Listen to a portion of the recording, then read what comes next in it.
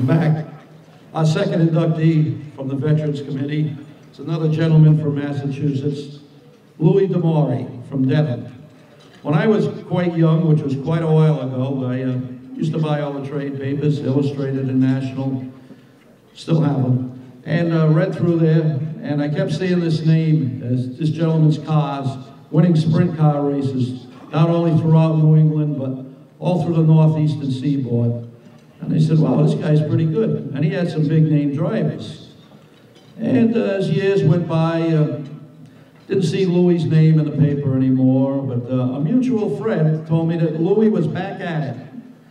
In his 90s, he's, he and his two sons, who are with him here today, they recreated the second version, the second car he had, and they're running in vintage races. Fortunately, they don't let Louis drive around too much, but the boys take the car out.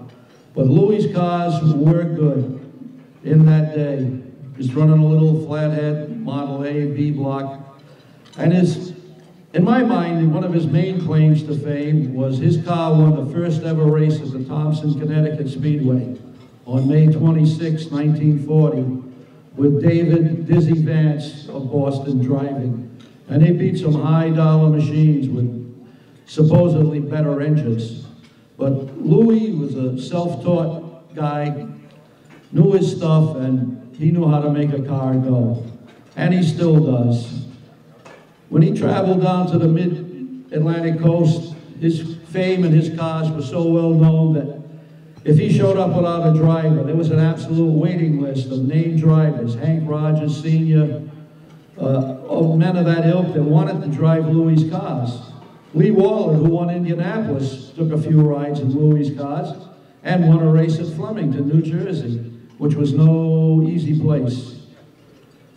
So Louis today uh, has one of the few race cars that is driven on the street to a car show at Dedham, Mass. every July, because their garage is up maybe a mile. Uh, it's kind of semi-street legal, but being such a long-time citizen of Dedham, nobody minds.